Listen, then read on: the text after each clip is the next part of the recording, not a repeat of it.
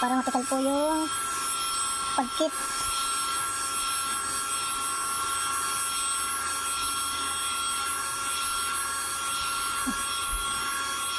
Para lumambot po yung pagkit. Try na po natin tikalin. Mag-change lang po tayo. Pinatong natin sa upuan kasi mainit. Mhm, yes.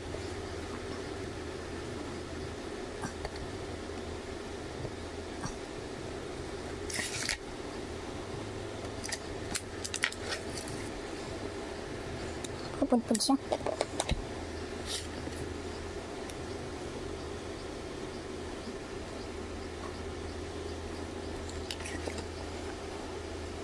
Hindi po tayo maalam.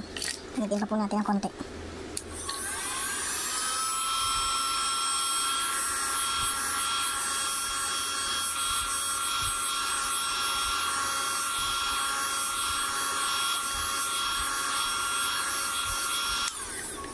Po natin itong pambunot nila.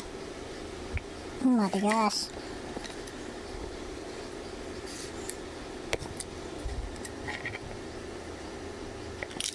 Matigas.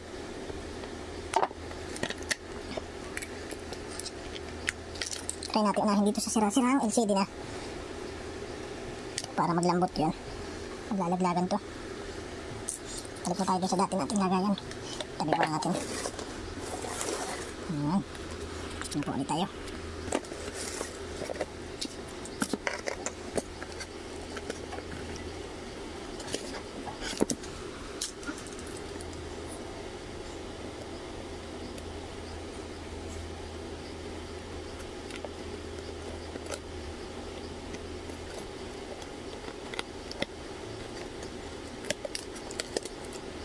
Okay lang ito masira na.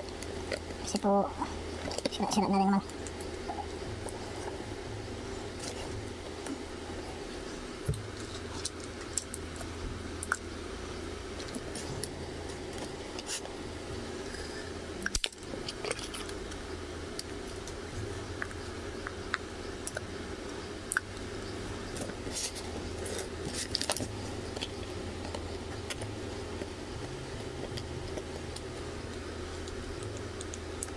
pagkakalangan po natin.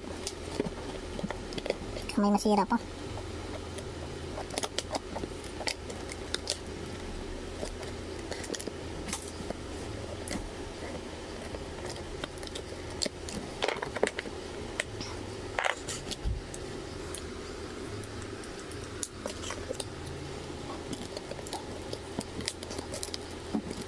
Nabak na na po. Oh. May sira na tayo dito. Hindi na. Tingin. Kapal pala siya.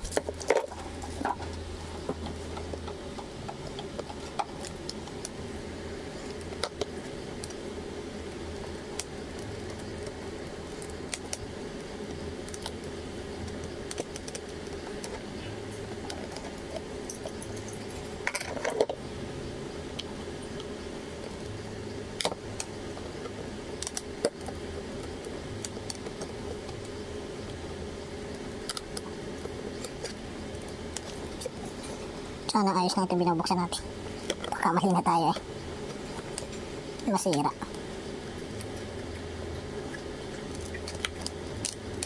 Sama pa kaya to? Tingnan daw. Kasi itong forma niyan. Kasama pa. Sinilip ko lang po yung isang Kaya na po basag-basag na yung LCD. Sana po mabuo pa natin.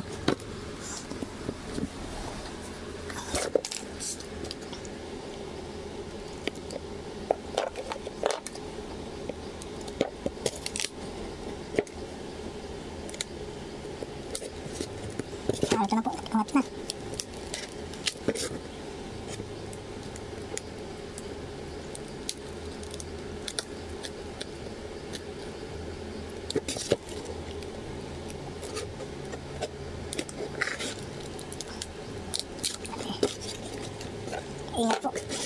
bote kasi bote.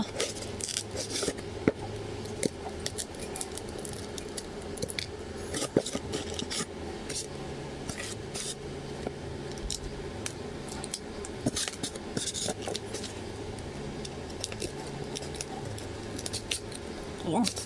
Nabunot din. Pasensya na po kung hindi ganong kita sa video. Na tayong cameraman ay. Pero malapit na po mabunot. Open sesame. Open sesame. Ayan na po siya. Tagal na po natin LCD. Success! Ayan na po yung sirang LCD. Pasag po yan, oh. Pasag po yan. Ito po yung bago. Ipapalit natin. Tinisan na muna po natin yung panabi, yung didikitan po. Kaya tayo dito tayo gagamit ng flashlight para makita natin maigi kung yung mga lilinisan po mga pagkit.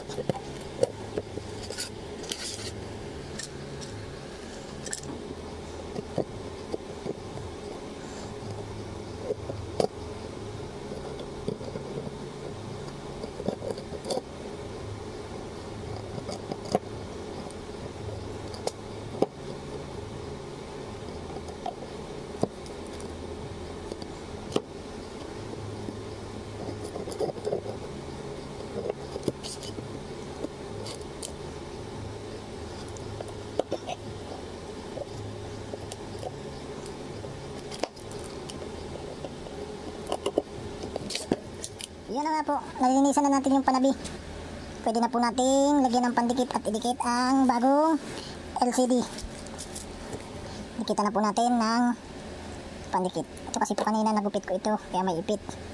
Ah, ganito pala ito, kala ko matilos. Tanong,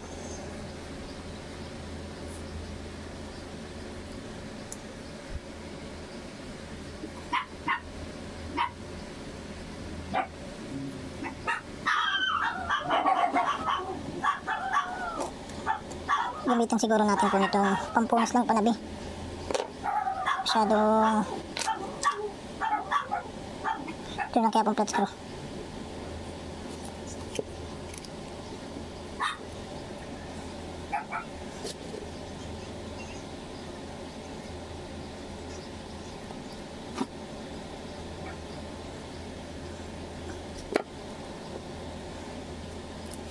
Yan lang, gamitin ko na ng kamay.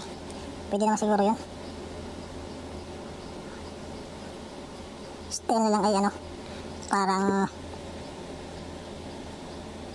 basket maker. Ang paglagay, unti-unti lang.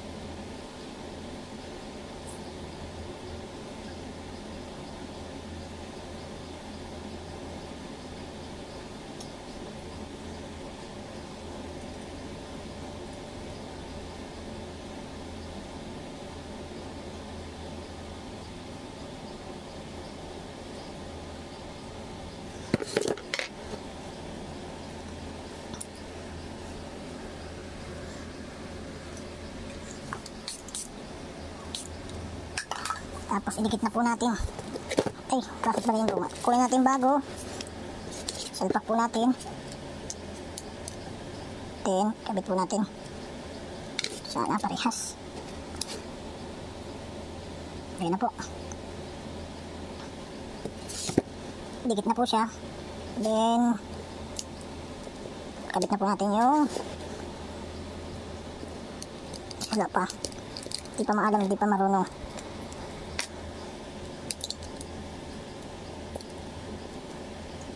Yun, idikit po natin. Tapos, idikit natin yung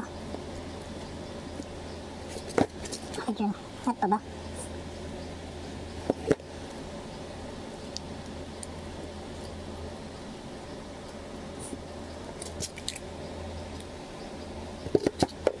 Natin to. plastic. Medyo kapos yung kabag natin battery. Natin kung dadanggi pa ba dun sa kapos. Kapos konti yung wire no.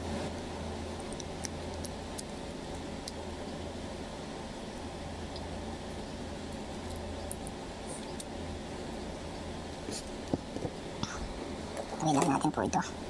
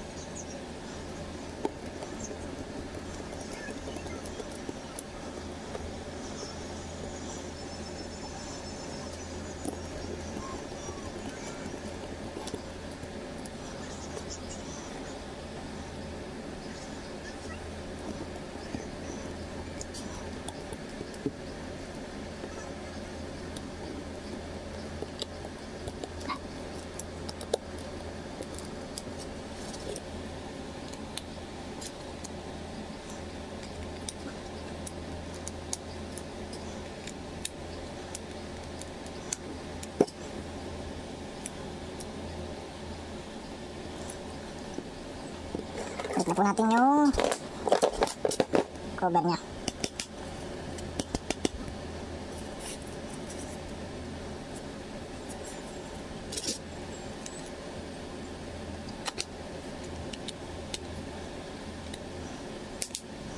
Naka-cover lang po ito. Dali lang ikabit. Okay na siya. Pero maganda po niyan, lagyan natin siya ng ipit para wala kayo ng tools na pampadikit para dimikit po siya mabuti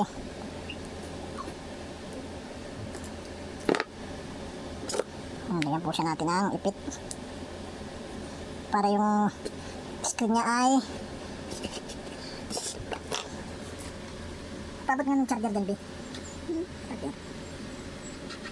Yan, isa. Halik yung dulo niyan.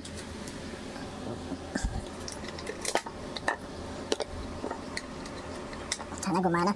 Pag hindi yan gumana,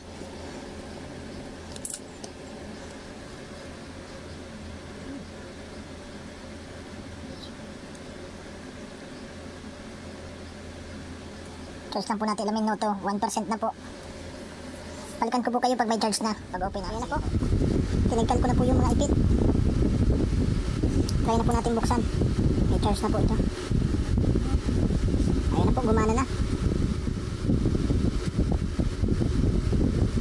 Sa wakas, ayos na yung Realme C50 natin. Bagong modelo lang po ito. Ito lang itong 2020. Kabago-bago na bagsak. Tumagal man siya.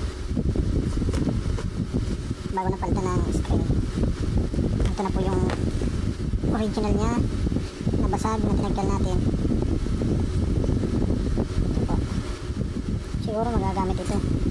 Pag-aralan natin kung paano ito marirecover yan. Original kasi ito, replacement lang. Pero okay naman ah. Yan po, gumagana siya.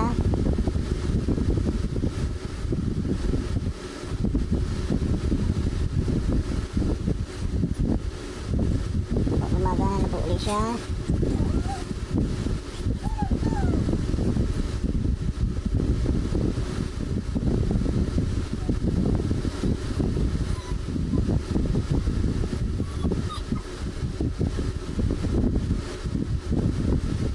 Gumagana naman po lahat. Po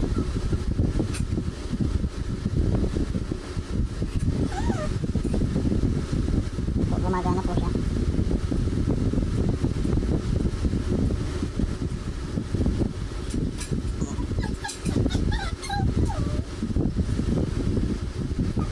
Okay na po yung ating Realme C15.